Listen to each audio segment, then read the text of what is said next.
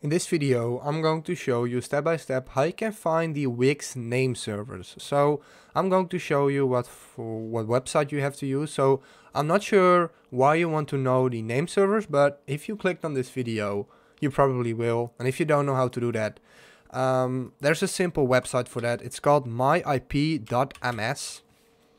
And then you want to go to websites right here and a worldwide database. Uh, you want to click that and then first hit search because you first have it first has to verify that you're a human or something. So yeah there we go. Then you can just create a dummy site on Wix so you can use this one. And then copy the website and paste it in here and then hit search. And now we have to wait and now a list of information comes up once it's done loading. And you can do this with any site, by the way. So if you have a Shopify site or you want to know some information of someone else, this site, then you can do that here. So there we go.